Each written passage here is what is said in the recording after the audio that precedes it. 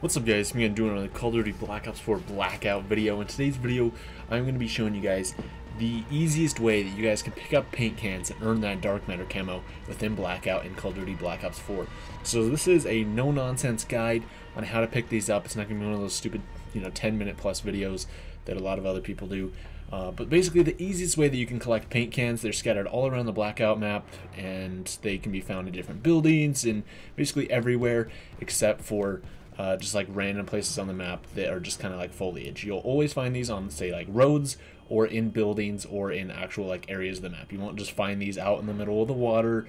You won't find them um, just out in like the middle of nowhere. They have to be on a road or in a building or so. So that kind of leads us on to the next point is the easiest way to get this is actually to drive along the roads because they'll spawn um, in my experience at least is that they have spawned about once every 10 seconds or so when you're driving around on ATV. So I found this easiest to do if you just hop into uh, like a solo match or something like that, fly down, and the second you land, try and find an ATV, and then just drive on one of these back roads of the map and easily just drive around and pick up paint cans. So uh, as soon as you see a paint can, slow down, hop off, pick it up, hop back on the ATV, keep driving. You'll be able to get a paint can about once every, say, six to 10 seconds and you can get a lot of paint cans this way. I've personally got upwards of 20 paint cans a match just doing this, and I've seen a lot of people using this strategy that they're able to get up to potentially 30 cans per match and you're going to need over 200 cans to get a single weapon gold, and there's 33 weapons total in Blackout,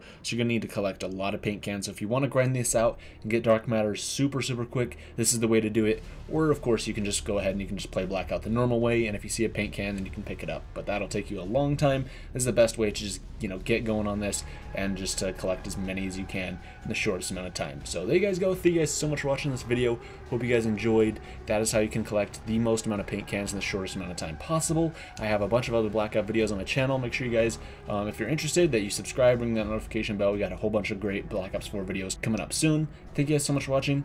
I'll see you in the next video.